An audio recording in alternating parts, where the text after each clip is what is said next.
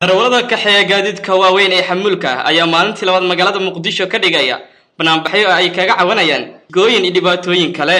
Qaar ka mid ah banaanbaxyaasha oo warbaahinta la hadlay ayaa sidaan yidhi ururo kaloo qaasa mucaaradi mayno qof gurgeeda jirta mucaaradi mayno waxaan doonaynaa gaadiidkayna waddadaan la mari lahayn oon marsiin lahayn oon guryahayna ugu hoyaadi lahayn. Dowladda soomaaliya inayna siiso oyna tixgelido wayna canshuurtaa canshuurta uma diidno saddex bilood ka bacdi sagaashan iyo laba dollar layga rabaa.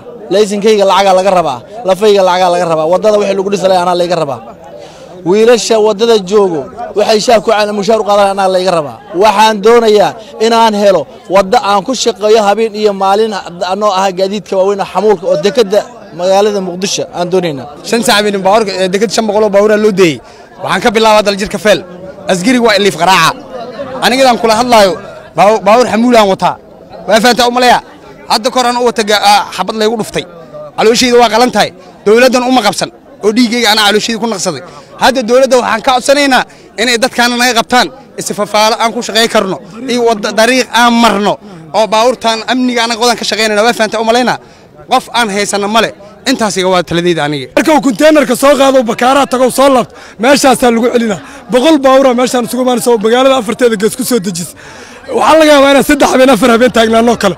Konteenarka faaruqa markaan celinayo haddaan afar habeen taagnaado oo markaan konteenarka doonayo aan afar habeen taagnaado ee haddana konteenarka waa dhacyo lacagaan lagaa rabaa liiliya markaan konteenarka dekeda geeyo ummadda soomaaliyeed meel kastoy joogto ama dowladda soomaaliya cid kastoo wax ka qaban karta arrintayna waxaan ka codsanaynaa waddo aan marna inaan helno. Dhanka kale guddoomiyaha degmada kaaraan abshir kaaraan oo la hadlay banaanbaxyaasha ayaa u sheegay inay tixgeliyaan cabashooda balse ay degnaan muujiyaan waxaan rabnaa marka mar kastaba wixii ka dhaco in xal lagu dhammeeyo gaadiidleyda cabashada ay soo gudisay waa tixgelinaynaa laakiin waxaan rabnaa in deganaan la muujiyo ee tuuryada la dhaafo oo aan baloominka iyo broblem kale aan la abuurin. Hadda waxaan joognaa waddo xidhan waddada xidhan sababay u xidhan tahay amaray ku xidhan tahay maan iskama xidhno marka ciddii naga sarrayso amarkaas bixisay iyo xalkii ay ugu tala gashay.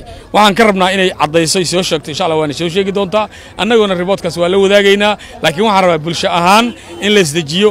Waxaan rabaa waxa aad waddada oo xidhan meel oo furan hadda ma jirto. Gees walba waa ka xidhan yahay. In dadka waddooyinka loo furo baabuurta baakiino kale loo raadiyo ciladaanna guddigaas oo aad soo saaraysaan iyo annagaa ku baxayno riboodaan idiin keeni doonnaa insha allah cabashada ugu weyn waxaa waaye gaadiidkii oo halkaan iskugu kor yimiday iyo waddadoo afartan siddeed sac ka badan xidhan.